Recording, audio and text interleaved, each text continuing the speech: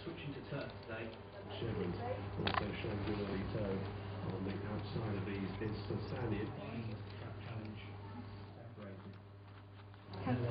I always back the winner. You know. I see around, right?